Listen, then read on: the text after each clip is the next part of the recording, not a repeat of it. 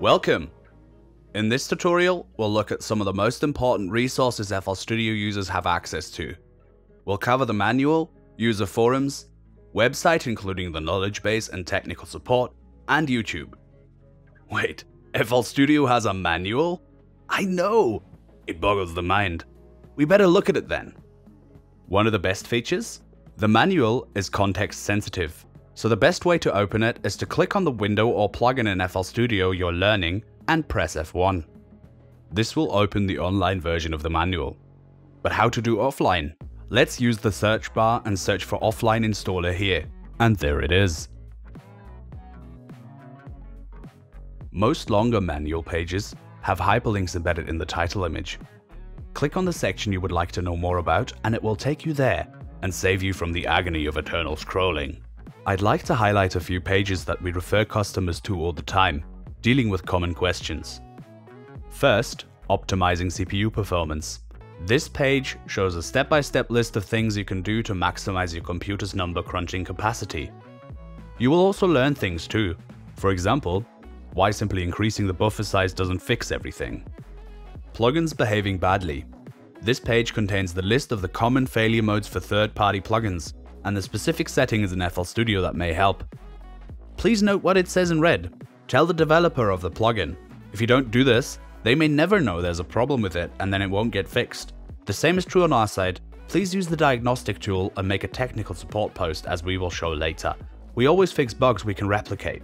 The page titled What's New in FL Studio 20 gives you a detailed overview of every new feature added since the release of FL Studio 20. Notice all the release videos. Greetings! In this tutorial we'll see what's new in FL Studio 20. Another great feature of an online manual. Definitely grab your favorite beverage and spend an evening crawling this page to see what you missed. The Making Music page was created for new users. We've embedded all the getting started videos and FL Studio workflow is explained in great detail. Specifically how it differs from other DAWs and some common points of confusion. At the end of that page, there is a list of excellent FL Studio related YouTube creators covering everything from music theory to production in specific genres, from classical to trap. Consider this list as our top picks based on content quality. Another great resource for FL Studio owners is the forum.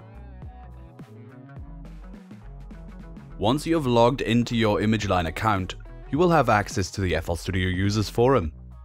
At the top, you'll be greeted by a forum we refer to internally as Loop Talk. This is the main hub for general FL Studio discussions, how-to questions, forum production contests which happen from time to time, and big announcements like when we release a new version of FL Studio. You can also get to the beta thread from here. The developers and executive management are active in the forums too.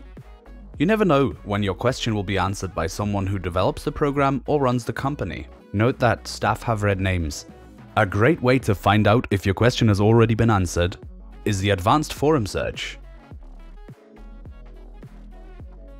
If you have a technical problem with FL Studio, our tech support team live in these forums here. You'll notice there is red text at the top of the tech support forum. This is a quick guide on how to achieve a fix for your problem without a lot of back and forth. Okay, so I'll let you in on a secret.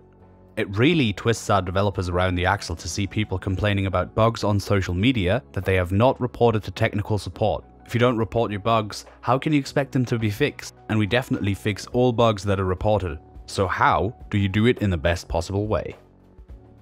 Start with a diagnostic tool to report a technical problem with FL Studio. This creates a private post in the technical support forum with all the necessary information about your operating system, audio interface, drivers, and system specs, so you don't have to list all that yourself. Then, type your issue here in detail. Click here to see your post. And see, it's on the forum. And what do you know? I already got a reply. MIDI controller scripting allows you to make FL Studio do more stuff with MIDI controllers. You can for example make any button or note be play and pause or stop, or move mixer faders with your sliders. There are a number of reliably working scripts already compiled. If your controller is on this list, start there. The FLP Exchange subforum is for sharing FL Studio projects with the FL Studio user base. This is the collaboration station of the forums. Share your project when you're stuck on an idea or you want to show off a cool technique you discovered for example.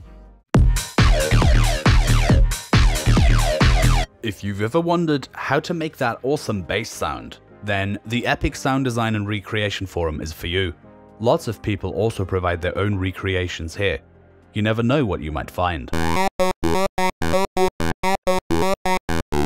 Finally, we have something that a lot of people seem to miss, the To-Do Forum. That's the place to share your ideas and suggestions for upcoming versions of FL Studio. Not the YouTube comment section. I mean, what? There are hundreds of ideas posted every month. Also, it may be a good idea to search through this forum to make sure your feature request wasn't made before. The last big resource that I'm going to talk about in this video is the ImageLine website. On our website, there's also a help section. If you go to support, you can simultaneously search the manual, the forums, the tutorials, and the ImageLine knowledge base. The knowledge base is a great resource as it's based on common technical account and purchase related questions. For example, how to unlock FL Studio. There's also an FAQ section on the same page. The learning page combines a set of video tutorials and a search bar for the FL Studio online manual.